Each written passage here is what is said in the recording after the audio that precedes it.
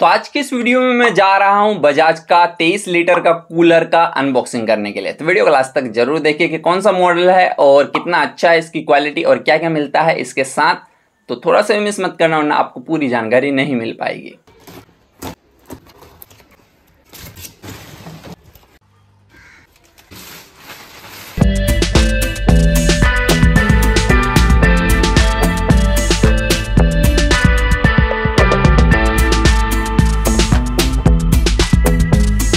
तो इस कूलर में देख सकते हैं, नीचे चक्का लगा हुआ नहीं है, चार चक्का जो होता है तो लगा हुआ नहीं है और इसके डब्बे में भी नहीं है।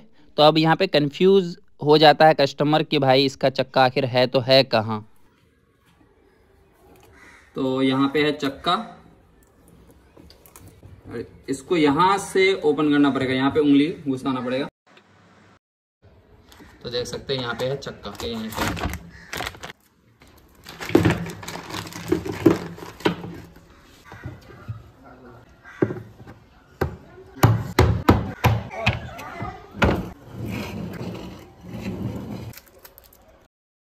और इसका मॉडल नंबर है Bajaj Frio new 23 litre air cooler इसको चलाना कैसे है और यूज़ कैसे करना है? और कितना फ़ायदेमंद है आपके लिए और आपके घर के लिए? और एक साल का पर्सनल एक्सपीरियंस भी बताऊँगा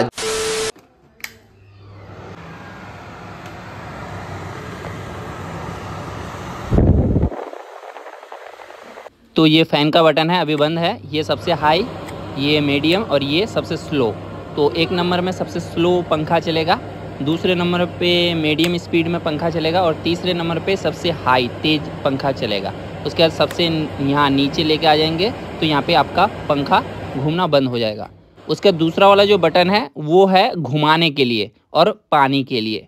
तो इसका भी मैं बता देता हूँ, यहाँ पे लिखा हुआ है स्विंग एंड पंप दोनों के लिए दिया हुआ ये बटन तो इसका भी कोड समझ लीजिए। तो पहले नंबर पे तीर बना हुआ है। इसका मतलब ये जो पंखा है, ये दायां बायां घूमेगा। उसके दूसरे नंबर पे जो बटन है, इसमें पानी का बूंद का भी निशान बना हुआ है और तीर का भी। मतलब मोटर का पानी भी गिरेगा पीछे में, पंखे के पीछे में और दायां बायां भी पंखा घूमेगा। उसके बाद यहाँ जो तीसरे नंबर पे है, ये दो बूंद बना हुआ है। तो यहाँ पे सिर्फ़ पानी गिरेगा टंकी का, लेकिन पंखा दायां बायां नहीं घूमेगा, अपने जगह पे अटका रहेगा।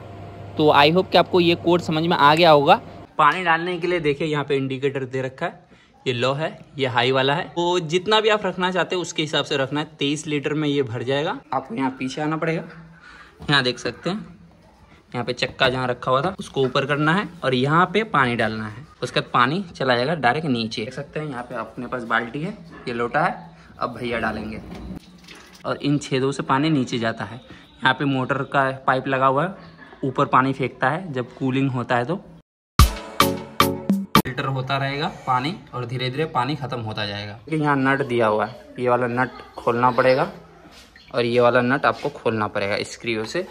उसके नीचे भी है नट देख सकते हैं तीन तीन नट है। ये सारे खोलने पड़ेंगे। ये वाले ये वाले ये वाले, ये सारे नट खोल करके आप ये वाला जगह साफ़ कर सकते हैं। यहाँ पे पानी इकट्ठा रहता है क्योंकि बहुत सारा धूल, मिट्टी जम जाता है। अगर आप हर रोज टंकी का पानी बाहर निकालना चाहते हैं और साफ़ करना चाहते हैं तो सबसे नीचे देख सकते हैं, यहाँ पे रबर का दिया हुआ है, यहाँ पे छेदा है। तो इस रबर को निकालेंगे तो टंकी का सारा पानी अपने आप बाहर निकल जाएगा। इस कूलर को मैंने एक सीज़न पूरा यूज़ किया, एक साल यूज़ किया। अभी तक कुछ भी ख़राब नहीं हुआ है और इसके पंप में आपको दो साल का वारंटी मिलता है। अगर कुछ भी ख़राब होगा तो टेक्नीसियन आपके घर पे आएगा और फ्री में ठीक करके जाएगा। तो आप भी एक बार इस कूलर को ज़रूर ख़रीदिए और यूज़ करके एक बार पर्सनल एक्सपीरियंस शेयर कीजिए।